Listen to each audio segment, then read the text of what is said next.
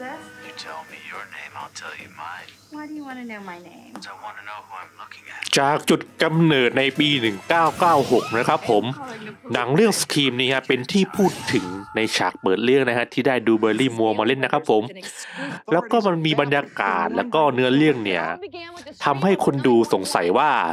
มันอิงมาจากเรื่องจริงไหมนะครับ ผมเรื่องนี้นะฮะซึ่งทางผู้เขียนบทก็ได้เผยว่า มันอิงมาจากเรื่องจริงนะครับ ผมของ Danny Rolling นะครับฆาตกรต่อเนื่องชื่อดังนะฮะได้ฆาตกรรมนักศึกษาสาวไปถึง 5 รายทีเดียวนะครับในช่วงหนึ่งเดือน มันทำให้เป็นที่พูดถึงว่าเป็นเหตุการณ์ Gainesville Ripper นะฮะหรือนักเชือดแห่ง Gainesville นะครับผมนะครับ แล้วหนังอะก็ได้แรงบันดาลใจจากตรงนี้นะฮะ มาเปิดเฟรนไชายหนังชุดที่ยิ่งใหญ่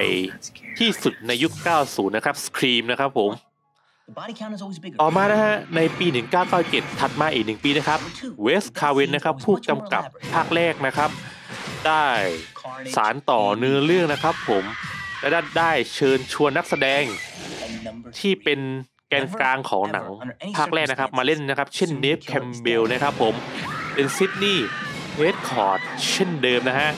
แล้วเธอจะแบกหนังเรื่องนี้ และทุกๆ อย่างอะจะมาอยู่ที่ตัวเธอทั้งปมในอดีต และก็เรื่องราวที่จะเกิดขึ้นนะครับ แล้วทางปลัด Dewey ในภาคแรกนะครับ ก็ได้นักแสดงคนเดิมนะครับเดวิดฮักเคนนะครับ มาเล่นเป็นปลัด Dewey ที่ต้องคอยปกป้อง และรักษาเมืองนี้ ให้อยู่ในความสงบและปลอดภัยจาก Ghostface ที่มันพยายามจะรุกรานเข้ามานะครับ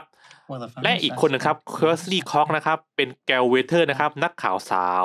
ซึ่งผันตัวเองมาเป็นนักเขียนนะครับ แล้วก็ประสบความสำเร็จจากหนังสือเล่มแรกของเธอนะครับ Scream สองนะครับ ปี 1997 นะครับผม ต่อมานะฮะ ในปี 1 2000 นะครับ ทาง Wes Craven นะครับ ผู้กำกับคนเดิมนะครับ ต้องการปิดไตรภาคให้สมบูรณ์แบบนะครับ ก็เลยทำหนัง Scream 3ขึ้นมานะครับผมโดยได้นักแสดงเพิ่มเติมเข้ามาเนี่ยฮะหลายคนทีเดียวนะครับ นักแสดงเช่น Liev Schreiber นะครับผมนักแสดงชื่อดังในยุคนั้นนะครับ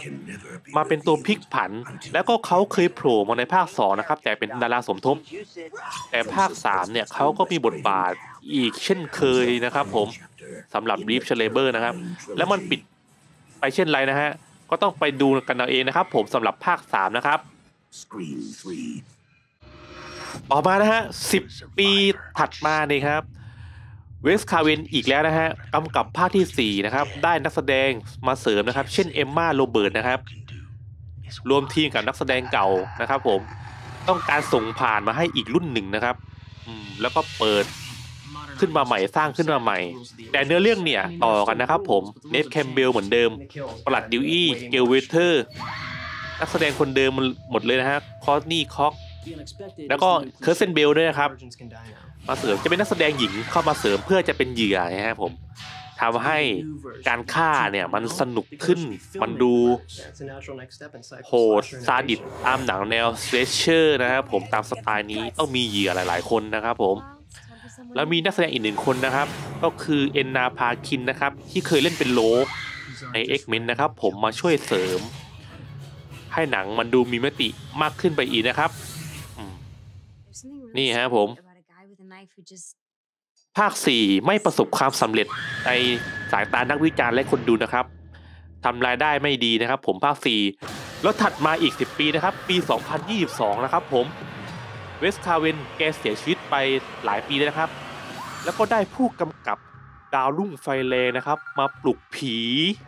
อีกครั้งหนึ่งนะครับ ผู้กำกับ2คนนี้นะฮะเคยกำกับไว้ ผลงานไว้นะครับ คือ Ready or Not นะครับผม Tyler Gillett และ Matt Bettinelli-Olpin นะครับผมเลดี้ออนัทนี้ครับเป็นที่พูดถึงของเหล่านักวิจารณ์นะครับว่าสนุกมากดีมากสดใหม่ แล้วคนดูทั่วไปก็ชอบนะครับทำรายได้ได้ดีนะฮะสกีมภาคนี้นะครับผม เป็นภาคต่อนะฮะแล้วจะสนุกเข้มข้น คนดูจะต้องลุ้นจนหวีดสุดขีดแค่ไหนนะครับผม วันพฤหัสบดีนี้นะฮะวันที่ 20 มกราคมนี้นะครับผมสครีมจะเข้าฉายในบ้านเรานะครับผมติดตามกันไปได้นะฮะ